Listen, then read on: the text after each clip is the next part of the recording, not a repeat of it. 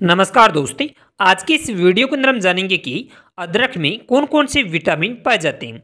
और इसके बारे में आपको हम अच्छी जानकारी देंगे तो आप कह सकते हैं कि वीडियो आपके लिए काफ़ी अधिक उपयोगी रहने वाला है। मगर वीडियो को शुरू करने से पहले, अगर आप चैनल पर नहीं हैं तो कृपया वीडियो को लाइक करें और चैनल को सब्सक्राइब ज़रूर करें। आइए वीडियो को शुरू करते हैं। दोस्तों, अदरक के अंदर एक नहीं, बल्कि कई तरह के विटामिन होते हैं और यह कुछ इस तरह से हैं।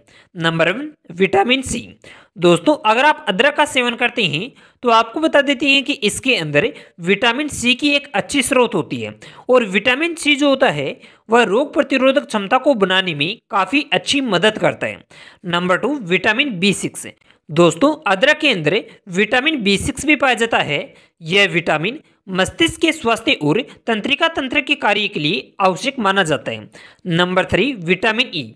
अदरक के अंदर विटामिन ई की एक अच्छी स्रोत होती है और यह विटामिन एक शक्तिशाली एंटीऑक्सीडेंट होता है, जो कि कोशिकाओं को क्षति से बचाने में मदद करता है। इसके अलावा अदरक के अंदर phosphorus zinc copper calcium iron magnesium और क्रोमियन पाया जाता है, जो कि आपके लिए काफ़ी अधिक उपयोगी माना जाता है।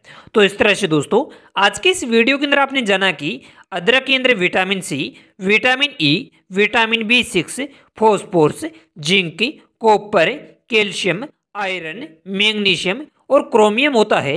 अगर आपके लिए जानकारी उपयोगी रही हो तो कृपया वीडियो को लाइक करें और चैनल को सब्सक्राइब ज़रूर करें।